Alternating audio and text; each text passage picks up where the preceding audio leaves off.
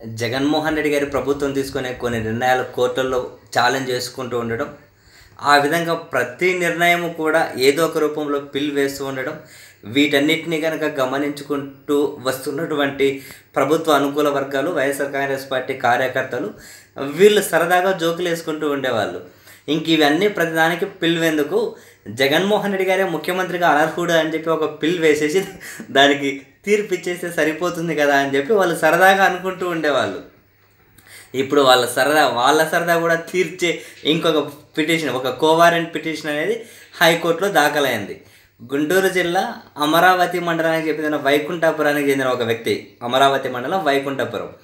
దానికి చెందిన ఒక వ్యక్తి ముఖ్యమంత్రి మంత్రులు Kodali Nani Vellampalli Srinivasu TTD chairman YV Subbareddy EO Ashok Singhal వీళ్ళందరూ వాళ్ళ పదవులు నిర్వహించకుండా అంటే ఒక విధంగా వాళ్ళకి ఆ పదవులు లేకుండా ఏమంటారు ఆ ఆట నిలువరించాలి అని వాళ్ళ పదవులు వాళ్ళు చెయ్యకుండా వాళ్ళని నిలువరించే విధంగా తీర్పు ఇవ్వాలి అని చెప్పి ఒక కోవారెంట్ పిటిషన్ దాఖలు చేశారు.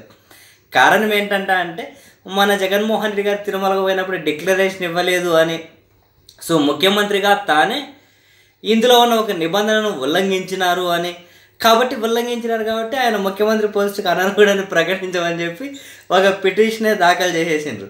ఇంతవరకు సరదాగా అనుకున్నది ఆయన సరే సీరియస్గానే పిటిషన్ వేసేసారు బాగానే ఉంది. ఇప్పుడు దీనికి ఇంకెవరైనా కనుక అనుబంధ పిటిషన్లు వేయడము లేకుంటే ఎవరైనా ఈ కేసులో ఇంప్లీడ్ అయ్యేసి "ఓ, ఇది ఒక ముఖ్యమంత్రి దగ్గరే ఆగకూడదు.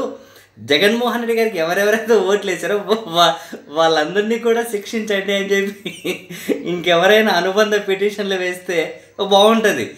తర్వాత ఎటు ఓట్లు వేసిన వాళ్ళందరినీ కనుక అక్కడ కోర్టుకి వెళ్తే అప్పుడు వాళ్ళు చెప్తారు కదా లేదు లేదు మాదేం తప్పు లేదు. అదే ఆ ఏమంటారు ఆ బ్యాలెట్ బాక్స్లో ఈ సింబల్ ఉంది. ఆ సింబల్ పెట్టిన ఎలక్షన్ కమిషన్ది తప్పు.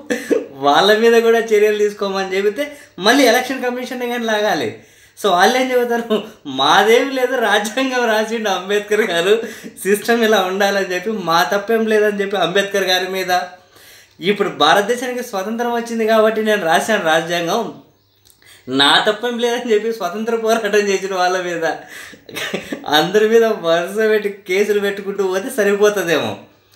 లేకపోతే చివరికి ప్రతిదీ పిల్ వేసుకుంటూ వేసుకుంటూ ఏకంగా ముఖ్యమంత్రి గారినే ఆ పదవిలోనే లేకుండా నిలువరించే విధంగా ఇవ్వమని చెప్పి ఈ పిటిషన్ లేడేంటి? కనీసం ఏమంటారు? ఒక ఒక దేనికైనా ఒక హద్దు అనేది ఉంటుంది కదా. చూడాలి. దీని సందర్భంగా ఎటువంటి వ్యాఖ్యలు చేస్తారు? ఇది అసలు విచారణకు వస్తుందా? ఏం జరుగుతుందా అన్నది చూడాలి. బట్ ఇదైతే నిజంగానే ఇన్ని పిల్లలతో పోల్చుకుంటే ఇదైతే చాలా చాలా చాలా ప్రత్యేకమైనది. అండ్ ఒక విధంగా చెప్పాను కదా ప్రభుత్వ అనుకూల వర్గాలు వైఎస్ఆర్ కాంగ్రెస్ పార్టీ కార్యకర్తలు వీళ్ళ కోరిక అయితే ఇది బా బాగానే తీర్చింది అబ్బా ఈ పిటిషన్.